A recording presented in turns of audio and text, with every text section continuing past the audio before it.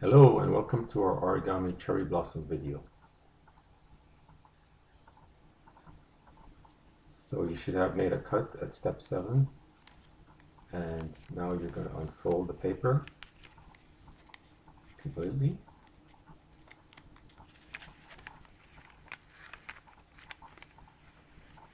And if you think about a mirror running on the center line north-south, you want the left and right halves to mirror each other. So that means you're going to have to refold some of these folds that we're showing here.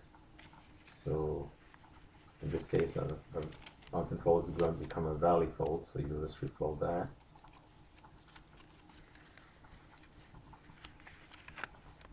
And this valley fold becomes a mountain fold.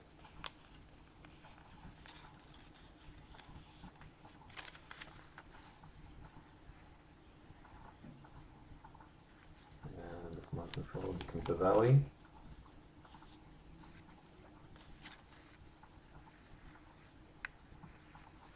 And this valley becomes a mountain.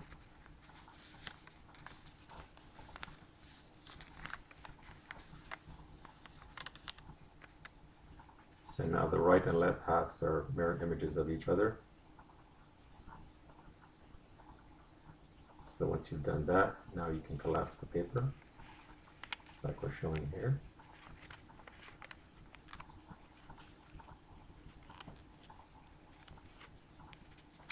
And this last flap you fold over to the right.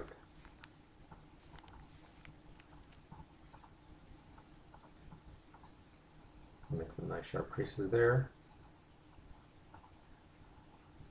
And now what you have should look like this. So on that lower right edge, what we're going to do is make a mountain fold parallel to the edge, maybe two or three millimeters wide.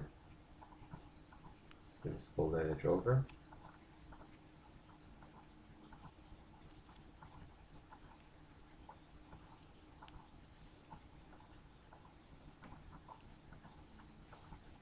Then on the other edge, we're going to make a valley fold, about the same width, and again parallel to the edge. Just fold whole edge over like this.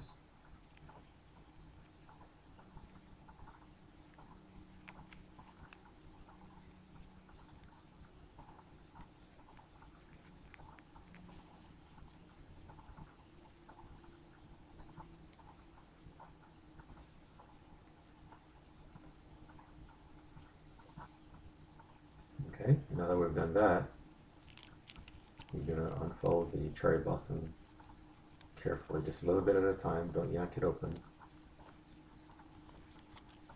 Just go around the piece just like this.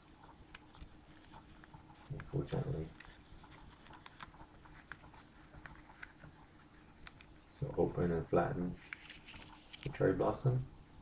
Now go around the piece and crease all those joints, those overlapping joints, make sure they're flat. and turn the paper over. And there you have it, your origami cherry blossom.